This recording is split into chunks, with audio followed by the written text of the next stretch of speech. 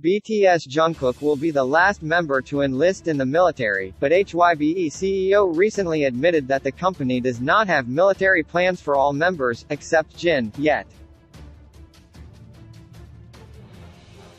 In the years leading to HYBE's confirmation regarding Jin's enlistment, the South Korean government debated on what to do with BTS members and other artists who have made great contributions to Korean pop culture.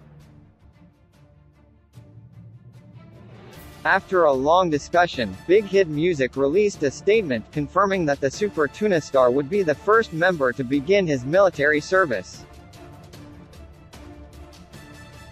Continue reading to know the company's current status on BTS members' enlistment. In a report, HYBE reveals expectations regarding its revenue as it gears up ahead of Jin's enlistment. It quoted what HYBE's CEO Park Ji-won said during a conference call to show the company's third-quarter earnings. Elsewhere in his statement, the CEO noted that the company expects to see a decrease in BTS sales revenue as the members serve in the military. On the other hand, he admitted that the schedule and other military plans for the six other members, Erm, Jimin, Suga, Taehyung, J-Hope, V, and Jungkook, are still yet to be decided. He offered no clarification regarding Jungkook's enlistment. The member, who is five years younger than Jin, will be the last one to enter the military.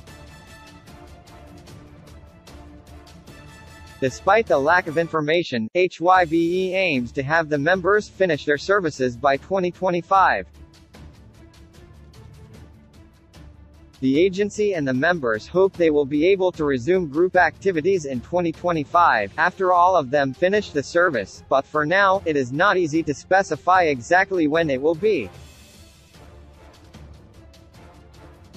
So each member will focus on individual activities for the time being according to their military service schedule, Big Hit Music said. Although the news about BTS members' enlistment shattered ARMY's hearts, fans received good news from the CEO who confirmed the idol's individual endeavors.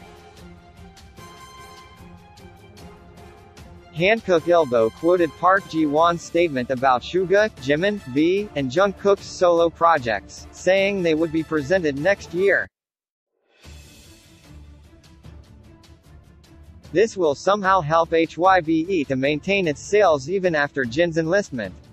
HYBE, still, will reportedly focus more on other artists, including 17, TXT, ENHYPEN, New Jeans, and LE SSERAFIM.